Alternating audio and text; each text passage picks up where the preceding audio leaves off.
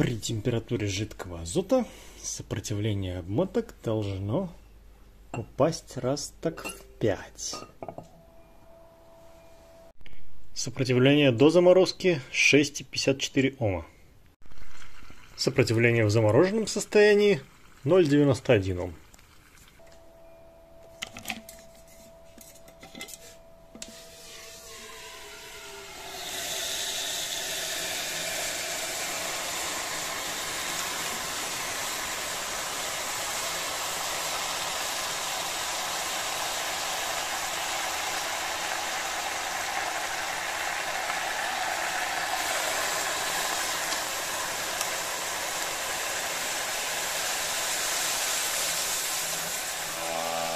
Так.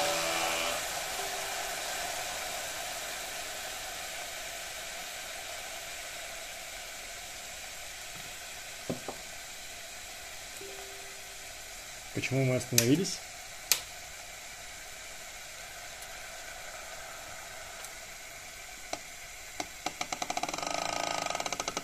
По-видимому, замерзла смазка в подшипниках.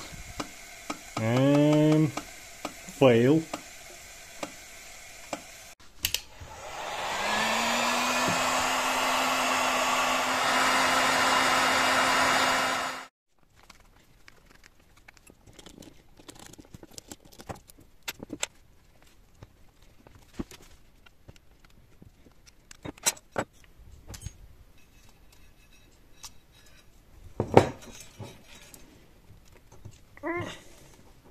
Не сниматься.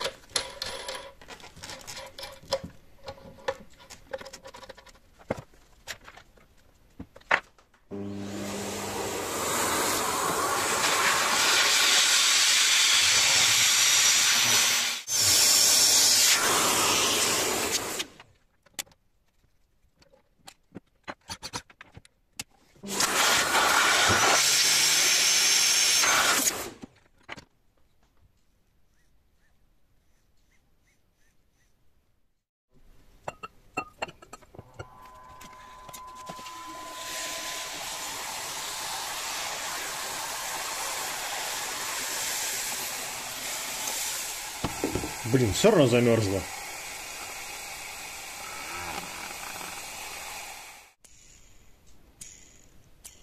Странно, он вроде практически сухой. А а этот кстати, опять промок. Так, пробую еще раз, не знаю, который уже раз.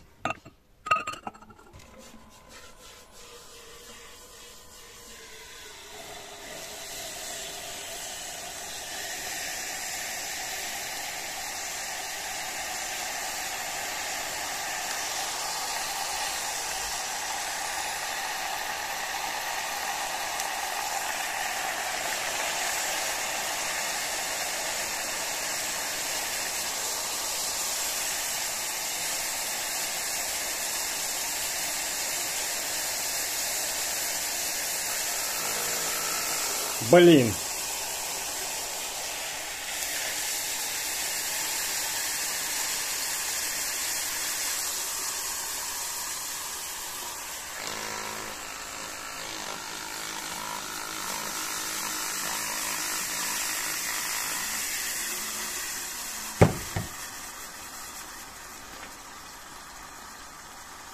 Хм. А вот ела. А вот в этот раз что-нибудь получится.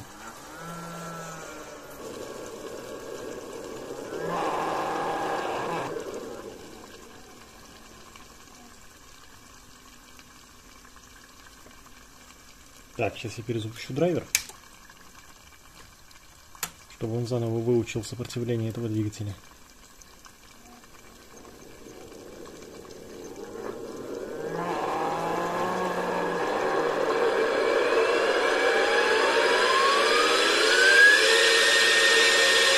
Ух ты!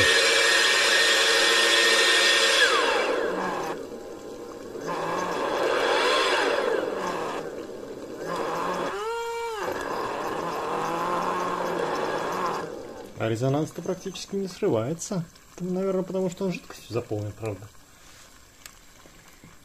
Так, давайте достанем его.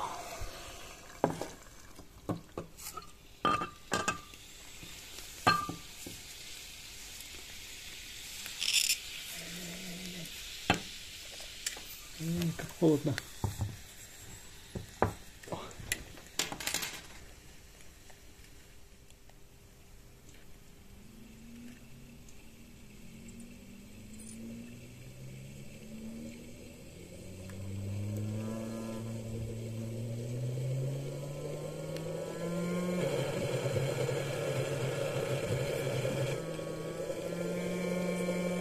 Так, интересно, вот тут виден стабильный стационарный резонанс.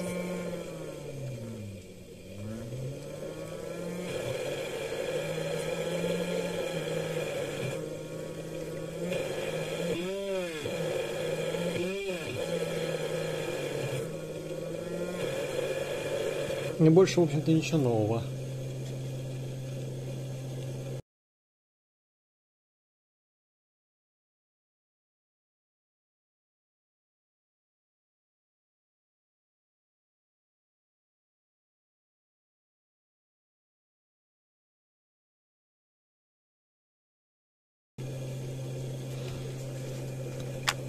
Так, ну давайте на осциллограф пустим. Сейчас я его еще снова подзаморожу.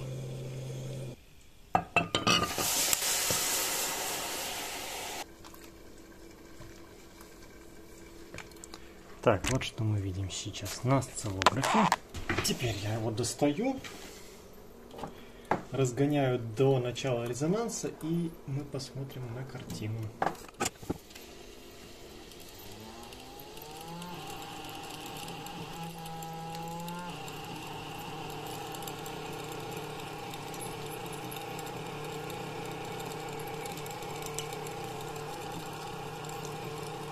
И запоминаем ее.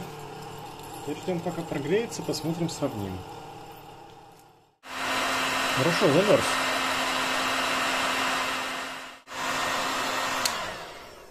Ну, в общем, он уже довольно тепленький.